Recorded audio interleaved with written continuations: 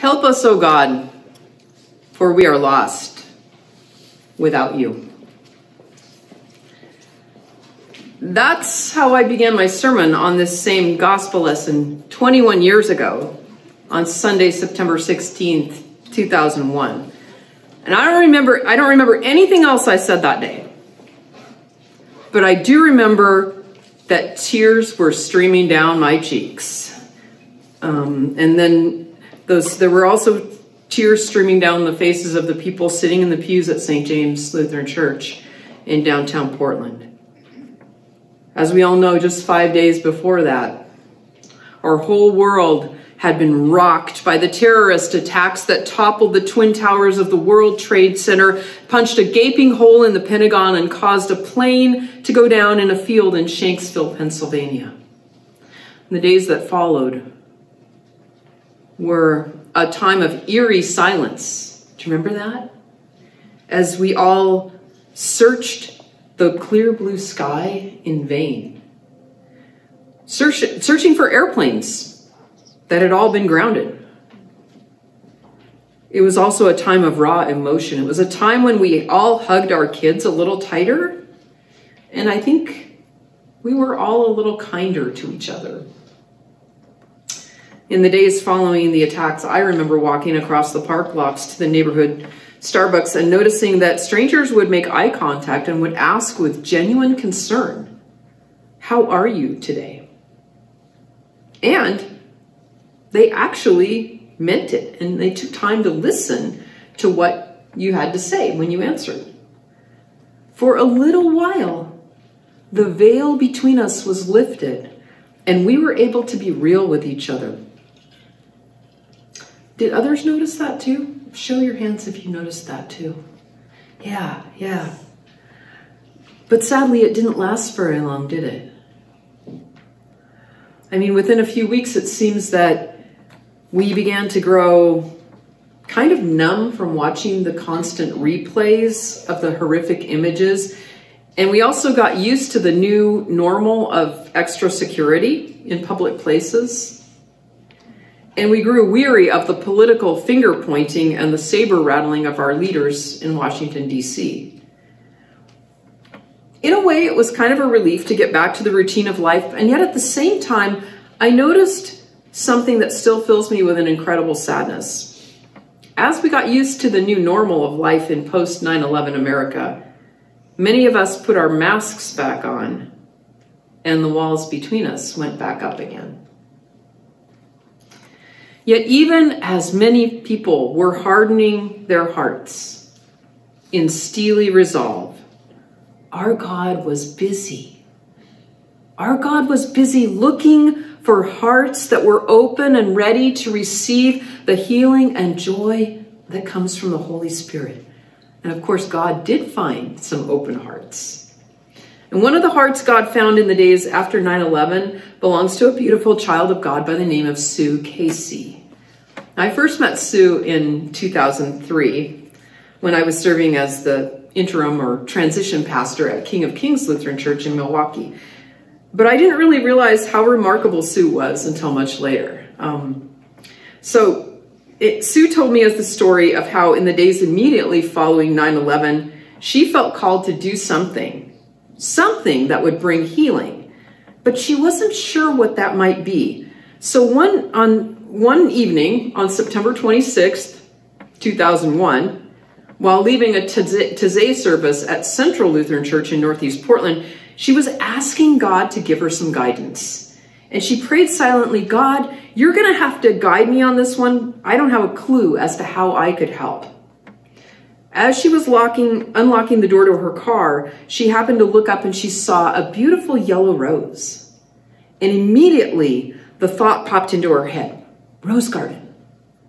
I'll create a rose garden. And as she was sitting in her car thinking about this, the, the words, remember me, came to her. And by the time she pulled into her driveway, she knew that the rose garden had its name. Remember me, Rose Garden. Well, back in 2003, when Sue told me about her vision, I remember thinking, wow, creating a rose garden at an East Coast crash site is an ambitious undertaking for someone from the West Coast. Um, well, then after I left King of Kings in August of 2004, I kind of I lost contact with Sue. But whenever the anniversary of 9/11 rolls around, I think of her and I wonder whatever happened with Remember Me Rose Garden. And I've Googled it a couple times um, over the years just to see. And several years ago, I was delighted to find that there is, in fact, a Remember Me Rose Garden um, on donated land near the memorial site in Shanksville, Pennsylvania. And recently, I've seen updates on Facebook about work that's currently being done to improve and maintain the memorial. I've also found a 2004 Washington Post story that helped fill in some of the missing pieces for me. Near the end of the article, journalist Joel M. Lerner writes, quote, Although Remember Me Rose Garden has a lot of support and anticipates more, in some ways this has been a solo effort. Almost all the money spent so far has been Casey's. She's used credit cards, retirement funds, a home refinance, tax refunds, frequent flyer miles, and overtime pay, but she claims little credit. She, um, and, and then he quotes Sue Casey saying, To me, this wasn't my idea. This was a gift that was entrusted to me to bring to fruition. Now, I have to confess that when I read about Sue's financial sacrifice, she was um, a receptionist at a law firm, so not didn't make a huge amount of money. I got a little bit judgy when I read that. I was like, whoa, that's risky. Some might even say that's foolish for Sue to put down put her own finances on the line like that. But then I thought, well, duh, that's what happens when the Holy Spirit gets a hold of your heart, right? I mean, you become a fool for Christ and you give it all away because it's not yours anyway. It's a gift from God, everything we have. You give it away in the name of love and you give it away with joy and with wild abandon. It's taken many years and many hearts and hands, but the vision God planted in Sue's heart has taken root. Remember Me Rose Garden continues to blossom into a place of beauty and healing and even joy for the families of those who lost their loved ones in the crash and for all who visit that somber site. Well, of course, the story of Casey and Remember Me Rose Garden is only one of many stories of God working in and through ordinary people to bring extraordinary healing and resurrection joy in the wake of an unfathomable tsunami of death. As we know, on that fateful day 21 years ago, there were a number of courageous individuals who risked their lives to help guide people out of the towers before they collapsed. One was um, a man named Wells Crowther. He was an equities trader in the World Trade Center. After the second tower was hit, Wells led everyone he could find down the steps to safety, and then he went back for more. And after leading more people to safety, he went back again and again and again until the tower collapsed.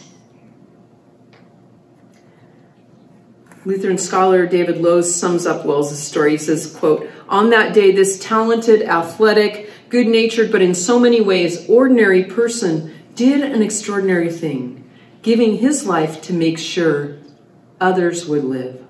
On that day, God used Wells Crowther to find people who were lost. Some of us also recall the heartwarming story about the gracious citizens of Gander, Newfoundland, who opened their hearts and their doors to provide food and shelter to 7,000 lost and weary travelers who became stranded when the United States closed its airspace. Again, God found hearts open to God's call, and those good hearted people brought so much healing and joy that the grateful travelers later felt moved to repay kindness with kindness. Indeed, their joy overflowed with generous donations to a scholarship fund for the children of Gander. And that, my friends, is a little glimpse, I think, of the kingdom of God. You see, our God loves all God's children and wants everyone to come to the party, to experience the joy of loving God and loving our neighbor. To say it another way, our gracious and merciful God doesn't want anyone to be lost or left out in the cold. And so, like the shepherd who leaves the 99 sheep to go looking for the one lost sheep, or like the woman who sets her nine coins aside and spends all night sweeping the house to find the one lost coin, our God will never stop looking for any of God's children who are lost. As part of my sermon prep this week, I listened to a preaching podcast from Luther Seminary, and one of the profs on the on the podcast, um, Dr. Joy J. Moore, she told a story that made me sit up and take notice. She said earlier this summer she was driving in Pennsylvania when she got lost. Imagine that. And she soon realized she was on the Memorial Highway for the people who died on Flight 93. Because she had made a wrong turn, she saw the exit for the National Memorial and spontaneously decided to visit. Now, while she didn't specifically mention Remember Me Rose Garden, which is only a quarter mile from the entrance to the memorial park, Dr. Moore did speak about how she'd expected to gather with others in a place of remembering and mourning, grieving but instead had been surprised to find herself experiencing a deep sense of joy. She said that for her, the joy came while listening to the wind chimes of the 93 foot tall Tower of Voices. As she reflected on the sacrifice of the 40 people who deliberately crashed the plane and sacrificed their lives in order to prevent the loss of many more lives. The professor said that she was quite moved by the fact that it was a wind from God that created the beautiful sound of the chimes, and that just filled her heart with peace and joy. And then she connected her experience with the life of Christ Church, saying, and that's what we gather together for in the church, right?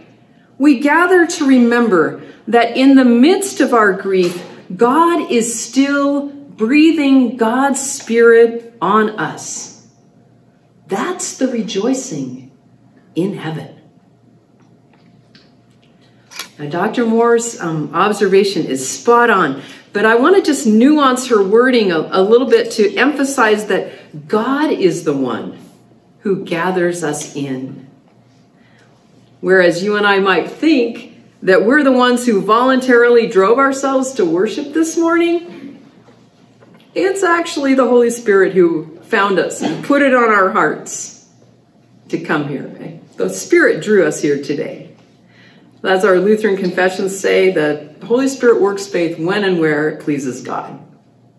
So today, you and I have been gathered here by God in order that we may be nourished and renewed through word and sacrament and through the love embodied in this community. Hmm. I want to let that sink in for just a moment. God has gathered you and me here today together. And that in itself is cause for great joy. However, the parable Jesus tells in today's gospel reading makes it abundantly clear that God's joy won't be complete until all God's lost children have been gathered into God's family. Take a look at Luke chapter 15, and you'll see that the verb to find or to be found is used eight times. I don't think I need to tell you that the one doing the finding is always God. Right? So taking this to the next logical step, I think you and I can see that sheep and coins don't really have any agency in repenting, do they? They don't know how to repent. Mm -mm. So repentance then is the result of being acted upon by God. Repentance um, is this, it's the same uh, thing as with Holy Baptism and Holy Communion. It's not what you and I do, it's what God does that matters. We can't do anything to earn God's grace. So if we look at things in this way, repentance isn't primarily about moral correction, it's about being found. Repentance is about being found and brought back by our persistently gracious God who gathers us in and then opens our eyes so that we can begin to see where each of us fits in God's grand design. And there's a place for each and every one of us. Oh, and one more thing. Remember, I said a minute ago that God's joy won't be complete until all God's children have been gathered in? Well, believe it or not, the same is true for you and me. Our joy won't be complete. It can't be complete either until all of our lost siblings are gathered in. And, and it can't be complete until we all stop grumbling, like those scribes and Pharisees were doing, right? We need to stop grumbling about each other. And we need to take our places as equals at Christ's table of shalom, where there's always more than enough grace to go around, and even the crumbs are a foretaste of the feast to come. Thanks be to God. Amen.